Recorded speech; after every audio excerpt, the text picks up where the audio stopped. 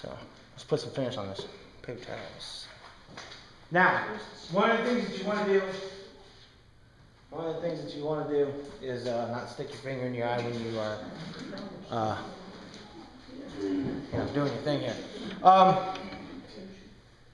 this this is a wax. This is a type of wax. This is this this can right here. This is how many? 65 milliliters or whatever. But um, it's not much. But this stuff is like thirty dollars. All right.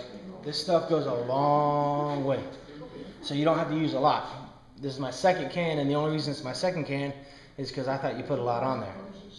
And then I got to realizing after I paid for it and looked at my receipts, I was like, man, I was stupid. You know. Um, one of the first things that you want to do is you just want to look at your piece. If you have a blower with you, you know, like an air compressor, you want to blow this off. But since I don't, we'll use my dusty hand and get it off. Now, when you're applying this wax and stuff, you do not, for any reason, want to get it inside here. Because the CA glue, which is what's going to bond that glass to inside here. Um, so if you put that wax on it, that CA glue is not going to sit right. Next you know, you're going to be entertaining, and all of a sudden, boop, you lose your glass. And then people are just not going to think too highly of you. So, Where do you get the CA glue from? Woodcraft, that same place I was telling you about. Now, there are other places. Um, I, I like Woodcraft just for the fact that it's local. So if I get like a random order that I just, for some reason, I don't have a, a piece of acrylic, instead of waiting five to seven days, you know, I'll just run down there real quick and grab it. But the majority of the time, I buy my stuff online, and the only reason is because they have better discounts. Um, like with the uh, bottle stoppers, uh, with these, and a lot of the pen parts and stuff like that, um, it's a bottle opener. Um, whether it be Coke or beer or whatever it is that you drink, this is what it does. Um, and I also do the whole combination portion. I'm gonna start by doing one of these tonight. These take a little longer than those. That's a combo. Oh, I should have opened it. Do you sign all your pieces? Uh, it's kind of hard to sign those, but yeah, everything that's flat or um, anything that's like this, yeah, I'll sign it. This one I did sign it. Yeah, like my hibiscus bowl. Yeah, I'll burn my initials in it, in the bottom of it. And then date it and everything like that. Um, but if it's something that, you know, if someone was to, to request for me not to sign it, unfortunately, I want to make them pay extra, because I don't need them. Matter of fact, there's a guy right now who is doing, he's from Russia. It's so funny. Because I was doing a whole uh, YouTube thing. This guy is actually saying that this is his piece. And he's also doing it with the hibiscus bowl. And I want to see, I want to say this one. Now, this just has Chinese writing on it. Each one of these symbols means, um, some is love, prosperity, benevolence, uh, virtue, and other things. But if you notice right here where part of the knot fell out, I went ahead and did the stone inlays on it. So it just adds a little, you know, and that's, that's maple. It's got, uh, it's got figured maple in it and, uh, bird's eye maple. So how could he say it was his? Puts it on his website and, uh, I've tried to, I've tried to be able to, you know, get a hold of him and everything like that, but I haven't been able to get any responses. And every time I try to find out where his little thing is located, I get pushed around to several different places, so it's like he doesn't even exist. So it's kind of irritating, but it's funny at the same time. You know, but honestly though, even though that guy, that drunk guy, was trying to steal my pen, I was still excited about it. Seriously. I know he was I know he was I know where his money was. It was in his belly, but the fact that he still wanted my piece even though he was drunk, that's awesome. I'm I'm I'm getting all kind of clientele, you know what I mean? So that helps me sell. So I just I don't I don't do well with because I don't drink. I don't believe in it. So, you know, I just I, I don't I don't do well with drunks. You know, I'm dumb enough. I don't need to inebriate myself to get stupid. You know, I'm already there. Yes, sir. Why wouldn't you use the power of the lathe to put on the wax? Certain waxes you can. Okay. Now, what I am doing, all I'm doing is making sure that it gets um, into each each pore of the grain and everything like that. Um, a lot of the times when you sand, it is there is a rule of thumb that you do not sand fast. Like cedar, aromatic cedar. This egg right here. This egg is aromatic cedar. This is heartwood. This is sapwood. In other words, this is the center of the tree. This is where the bark would be. Um, this, the, the log that I started out with was not much bigger than this egg, and the bark was actually still there. Matter of fact, there's bark on this. I have no idea what kind of wood that is. I'm thinking it might be sweet gum, and that's what my dad is thinking that it, that it is. Um, so, if I was if I was using cedar, if I was doing cedar right now, I'd want to I'd want to sand it lower thin. And the reason being is because you get cedar hot enough, this is like a small grenade or a piece of dynamite. The wood is so brittle on the inside that when it heats up, it expands at such a rapid rate that it just goes boom. So, uh, yeah, so when you, when you sand it, that's the reason why, that's the reason why when you cook with it, yeah, you can cook with it, but you're cooking on a plank. This is, there's nothing, it's, it- a plank is more stable than a cylinder. You know what I mean? It's just, it's just a lot more stable. And I've had one of these explode on me, so that's the only reason why I know. I've heard it, you know, I heard it for a long time and I would never tell people that they would explode, but I've had one explode on me, so that's the reason why I'm saying it. Now, when I go to buff this, I will turn it on my high, but you gotta be careful because certain woods, depending on the density of the wood, um, you're obviously going to use a different part of the rag, but um, the more dense it is, for some odd reason, it heats up a heck of a lot faster. Just, I mean, and and it'll actually melt this, and then you got to resand because it just ruins your finish. Especially with um, uh, acrylics, I sand all the way up to 12,000 grit with with water. Okay, I start out depending on the shape and everything like that. Um, I'll start out with maybe I don't know, probably about 220. Um,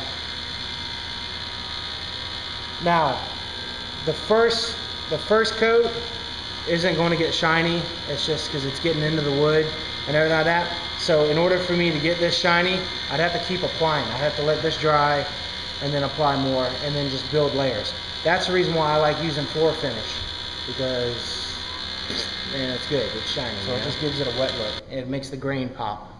You see the grain a lot more than. So you can imagine if I had a bunch of circular scratches on this, you would see because any dust or anything like that is going to embed itself in that in that in that crevice.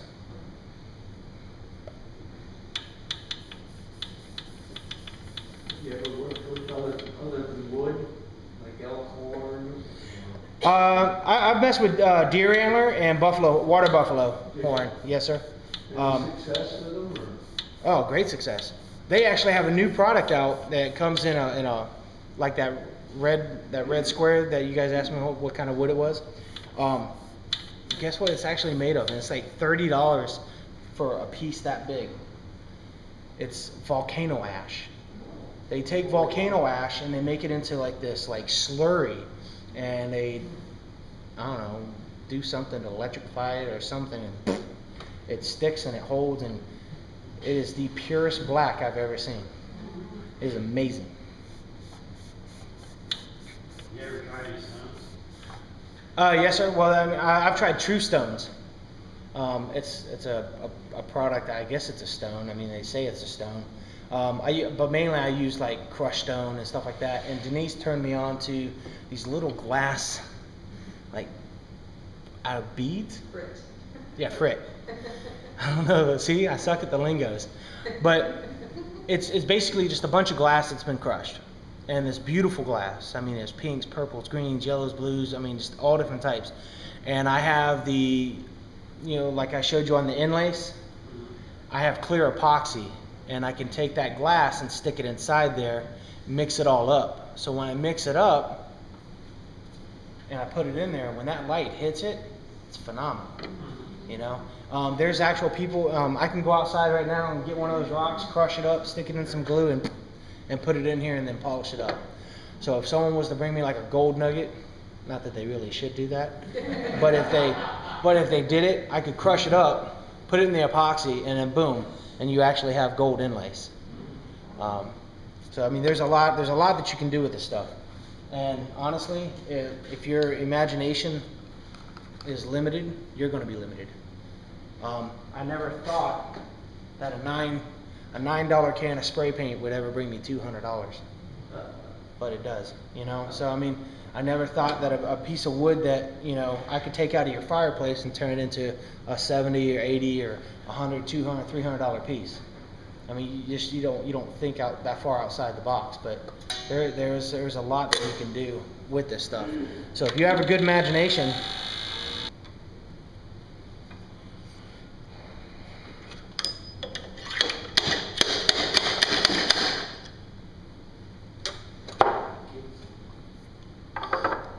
I was hoping it was going to come out more graceful, so I looked like I knew what I was doing, right? It looks like a monkey, you know?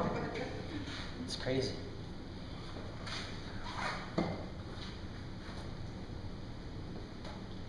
Um, whenever you're using CA glue, CA glue is like the fastest glue in the world. I mean, it's it's nasty. Um, so if you don't set it right, like quickly, you're gonna be chipping it out, and you're gonna, you know, Denise is gonna have to make me another piece. But uh, you wanna make sure all your dust is off. I don't learn, but um, so make sure all your dust and everything like that. Now, on the inside of this, I actually concaved it. That way, all the glue would settle towards the middle, and it would still get on the rim. So it was, it's creating a, a stronger foundation for this. Um, if whoever gets this has any problems with it, let me know, because I, I, I like to guarantee my stuff.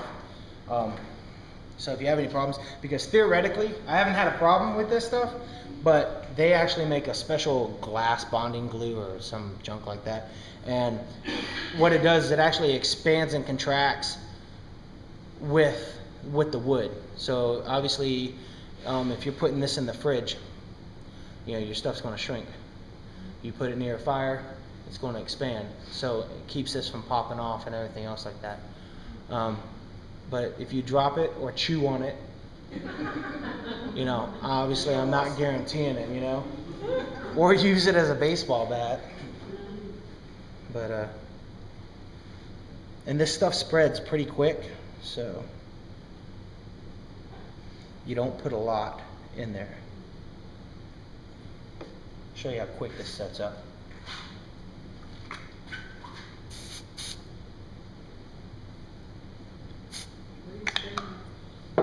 It's even faster. Look at that. See? I still do that because there was one time that I had some defective glue, and uh, yeah, it wasn't pretty.